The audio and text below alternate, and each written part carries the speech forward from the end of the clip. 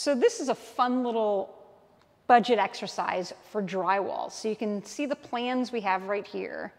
And what we have broken down is the level of finish that we want in each of these spaces. So for example, we have tape and mud, the ceilings only, that's the blue hash mark. Tape and mud only, walls, stone, etc. Level five walls, right here, that's in purple. So, he, you know, we, we're gonna spend the money on the level five, and in the blue areas, we only need tape and drywall because those areas will have some sort of stone on the wall. So we really don't want to spend money on taping and floating in those areas.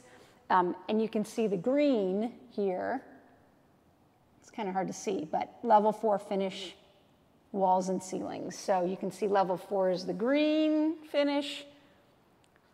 Level five is the purple finish.